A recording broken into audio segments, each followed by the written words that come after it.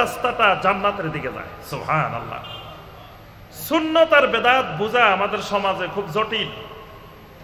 কারণ হলো, সুন্নত থেকে বেদাত সব সময় বাহ্যিকভাবে দেখতে একটু সুন্দর বেশি দেখা যায়। মূল স্বর্ণের অলংকার আর নকল বিভিন্ন জিনিসের অলংকার।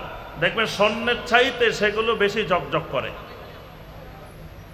এই স্বর্ণের চাইতে যখন সেগুলো বেশি জকজক করে যাদের জ্ঞান থাকে না সুন্নত সম্পর্কে, মূল স্বর্ণ সম্পর্কে, অরিজিনাল সোনা যারা চিনে না, তারা নকলগুলা দেখলে আকৃষ্ট হয় বেশি।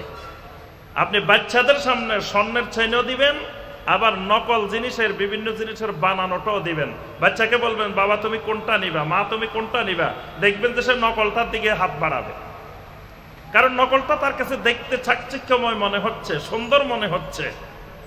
এইভাবে প্রত্যেকটা নকল জিনিস, প্রত্যেকটা ভেজাল জিনিস মূল জিনিসের চাইতে সুন্দর বেশি থাকে। পাঁচশো টাকার নোট যেটা মূল নোট, সেটার চাইতে যেটা নকল নোট, দুই নম্বর নোট, সেটা দেখবেন যে চকচক বেশি করে, বেশি সুন্দর দেখা যায়। বাজারে দেখবেন ভালো মাছের চাইতে ফরমালিনওয়ালা মাছ বেশি সুন্দর দেখা যায়, বাহ্যিকভাবে। চাউল যেটা ভেজাল, সেটা দেখবেন বাহ্যিকভাবে দেখতে একেবারে সাদা ধবধবে মনে হচ্ছে। মূল চাউল যেগুলো, এগুলো দেখতে সুন্দর দেখা যায় না, লাল দেখা যায়, বিভিন্ন রকমের দেখা যায়। এইভাবে প্রত্যেকটা জিনিস জমিতে গিয়ে দেখবেন, মূল ফসলটা নিচে পড়ে আছে, আগাছাটা উপরে উঠে এত শক্তিশালী মূল ফসলকে চেপে ধরছে। অর্থাৎ সবসময় আগাছা শক্তিশালী থাকে, বেদাত সবসময় শক্তিশালী থাকে, সুন্নতকে চেপে ধরে, সুন্নতকে অনেক সময় মূলোৎপাটন করে, সেখানে জায়গা দখল করে নেয়। এইরকম বেদাতটা শক্তিশালী। এই জন্য সমাজের মানুষ বেদাত চিনতে ভুল করে। মানুষ মনে করে, এত সুন্দর জিনিস, তারপরেও বলে এটা বেদাত। দেখো, এরা কত খারাপ। এত সুন্দর একটা এবাদত এত সুন্দর একটা হাসানা জিনিস। এই হাসানা জিনিসটাকেও এরা কয়ে খারাপ। এই জন্য বাংলাদেশে যত বেদাত আছে, সব বেদাতের নাম হলো বেদাতে হাসানা। হাসানা মানে সুন্দর। তো বেদাত তো দেখতে সুন্দর দেখা যাবে, এটা স্বাভাবিক জিনিস। তো সুন্দর জিনিস দেখে এরা মনে করে যে এরা এত সুন্দর জিনিসটাকে বেদাত বলে কেন? এজন্য দেখবেন যতগুলো বেদাত আছে, বেদাত কিন্তু সুন্নতের চাইতে বাহ্যিকভাবে দেখতে সুন্দর দেখা যায়।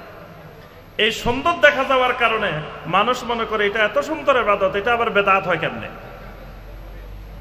এই জন্য সাধারণ মানুষের সামনে বেদাত তুলে ধরা বাংলাদেশে সবচেয়ে জটিল। এই জন্য আমার ভাইরা এবং বোনেরা, আমরা ভালোভাবে বেদাত চিনতে হবে এবং বেদাত সমাজ থেকে দূর করার জন্য এক একজন দায়ী ইলাল্লাহর ভূমিকা পালন করতে হবে।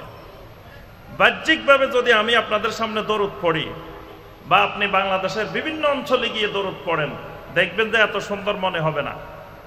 যদি পড়েন আল্লাহ আলা মুহাম্মাদ আলা আলি মুহাম্মাদ। সাল্লাইতা আলা ইব্রাহিম ওয়া আলা আলি ইব্রাহিম, ইন্নাকা হামিদুম মাজিদ। দেখবেন মানুষকে জিজ্ঞাসা করবেন, ভাই, এটা কি পড়ছি?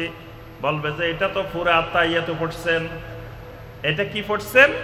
পুরা আত্মা ইয়াতু মানে আব্দহু আর রসুলু পর্যন্ত এটা হলো বাংলাদেশে আদা আত্মা ইয়াতু আর আল্লাহ সাল্লাহ আল্লাহ মোহাম্মদ থেকে শুরু করে দোয়াই মাসুরা পর্যন্ত এটা হলো পুরো আত্মাহিয়াত।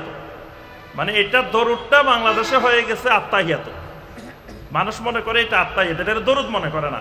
দরুদ মানে কোনটা? দরুদ মানে পড়তে হবে, বালাগাল কাশাফাদ